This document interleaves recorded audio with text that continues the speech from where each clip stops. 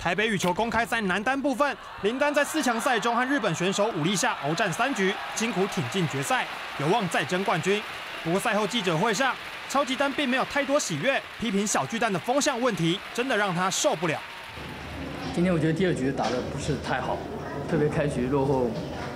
太多，所以呢，给自己的呃第三局的一些比赛造成了一些比较大的一些呃压力。所以，当然我觉得台北这个风向实在确实是很大，我不能因为说我赢了或者输了，去总是强调这个，因为我觉得在这样的情况下，其实双方水平的发挥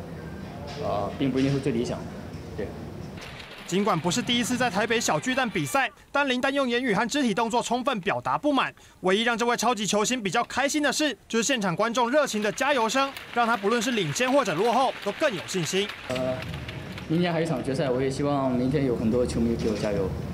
啊，在这里也非常感谢他们对我的呃呃鼓励，因为我有听到他们喊林丹加油，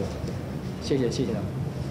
林丹章比赛面对日本小将打得有点辛苦，不过球运确实不错，好几次不论攻防，球出网之后都顺利爬得过去。受到羽球之神的小小眷顾，让林丹最后能在球迷的呐喊声中帅气挺进男单决赛。华体讯综合报道。